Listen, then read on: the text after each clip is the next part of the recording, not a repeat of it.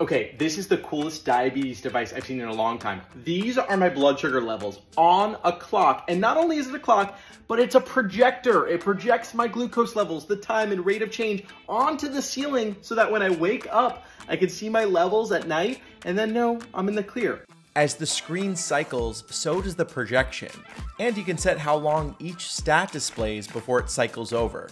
The projector can be tilted in whichever direction, and you can even flip the projection with a button.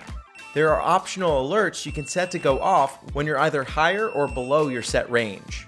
On the back, you can adjust settings like glucose measurement to millimoles or milligrams per deciliter, military time, alerts, brightness, and the projection. There's also a USB-C port for charging devices, but it's kinda slow.